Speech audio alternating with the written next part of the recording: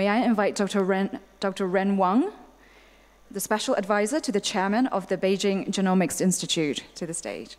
Distinguished delegates, ladies and gentlemen, uh, our chair lady did not introduce my another title, that is, I used to serve as the CGIAR director and also the former assistant director general of the uh, Food and Agriculture Organization of the UN.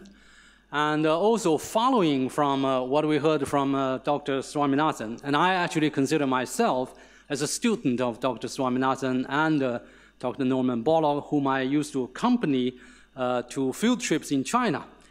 And uh, following what they said, and that reminded us the original mandate of FAO and for that matter, also the CGI was simple and straightforward. That is to increase the agricultural productivity in order to achieve food security in the world.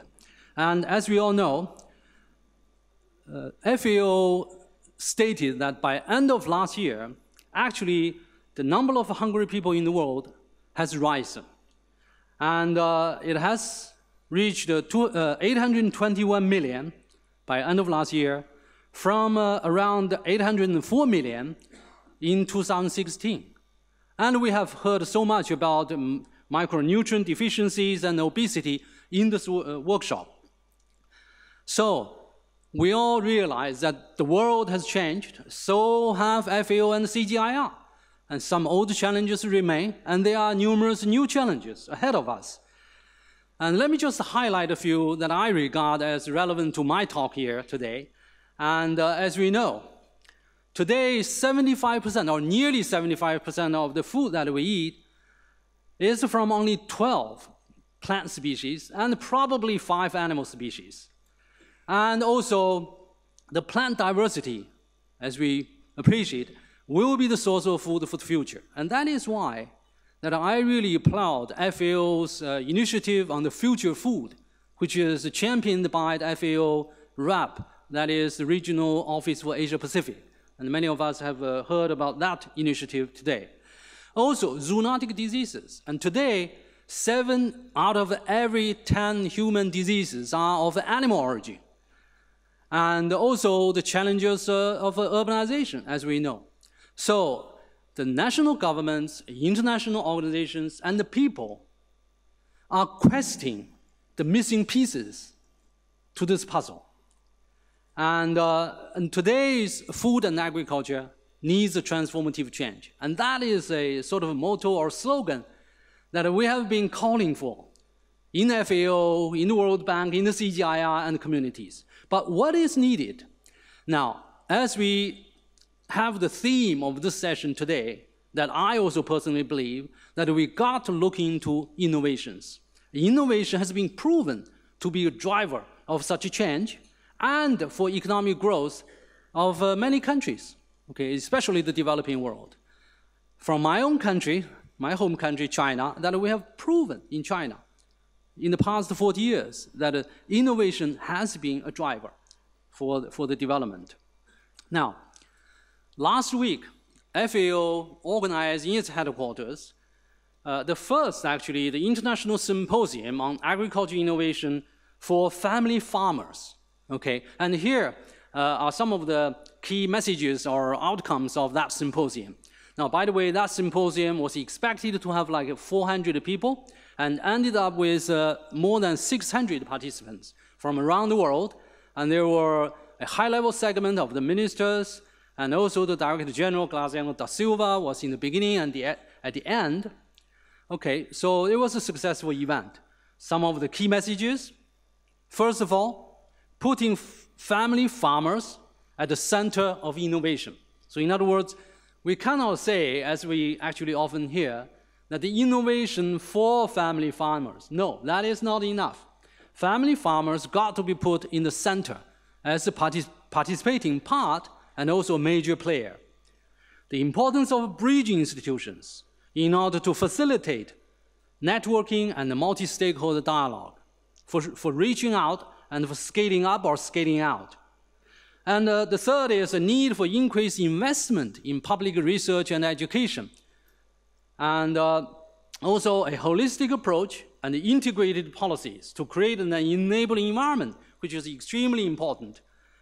And uh, the youth and the women are the central force for agriculture innovation, which was highly demonstrated in that symposium held uh, last week in Rome.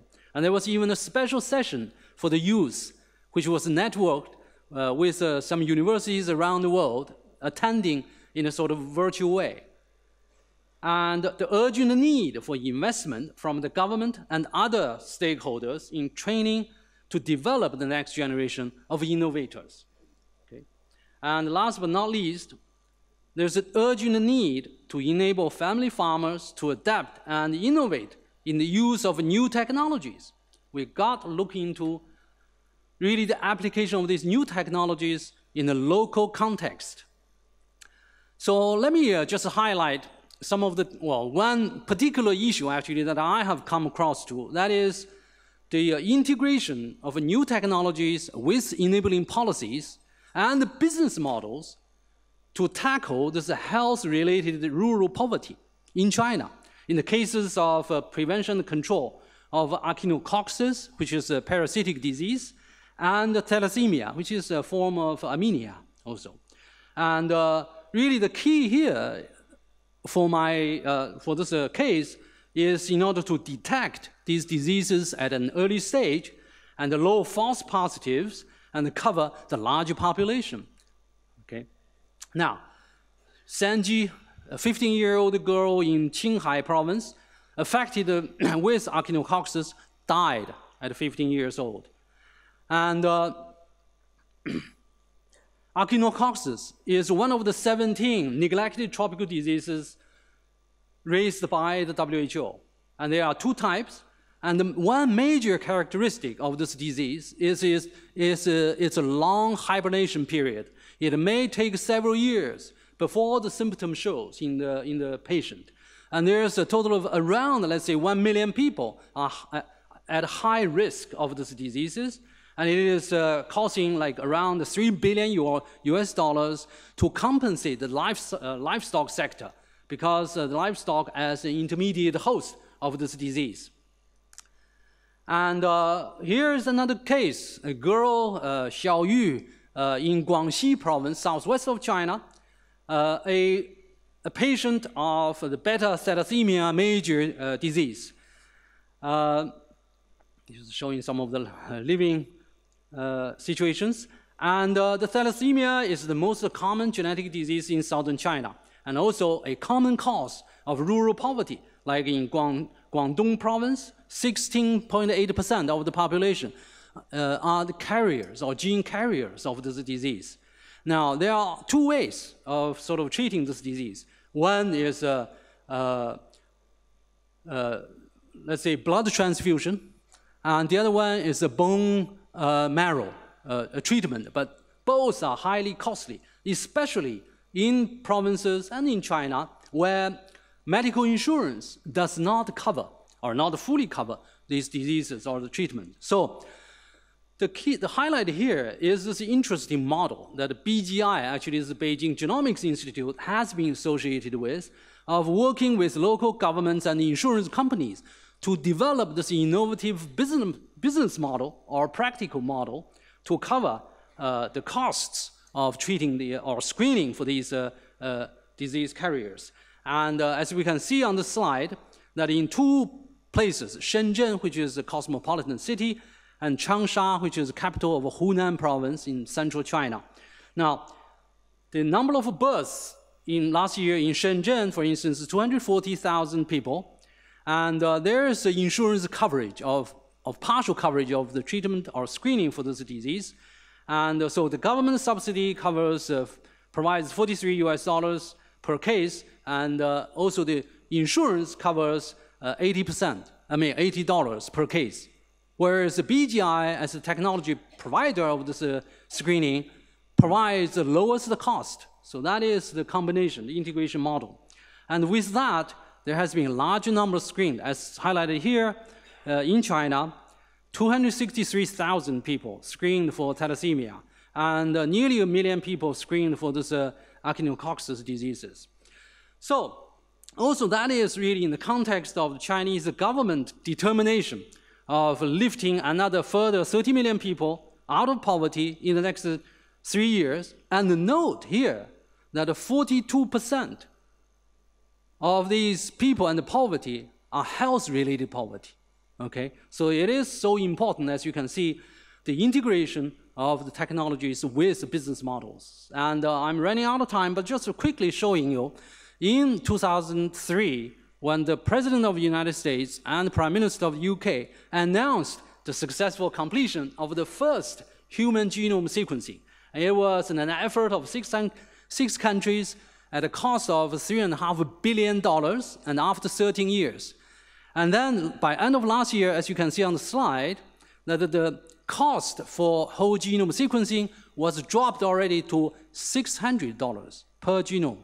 And we are looking at not in the too distant future, around maybe $100. You will have your whole genome sequencing done. And uh, about three weeks ago, the BGI launched in Shenzhen the world's fastest genome sequencer, which can have a maximum data output of six terabytes, and that is to complete the whole genome sequencing of 60 people in one day. You know, this is technology development is enormous. So let me closing by uh, offering three sort of take-home messages. Technological innovations are changing the world, and our mindset got to change. We have to embrace these, you know, the, the, suitable, let's say, new technologies in the context of local uh, situations. Innovations in science and technology must be accompanied by innovative business models or practical models and broad partnerships. Okay, and innovation can be a powerful driver for poverty reduction and economic development in the developing country, but it needs the support and enabling policies and investment from the national as well as local governments. So that is my sort of key message. I want to thank you very much for your attention.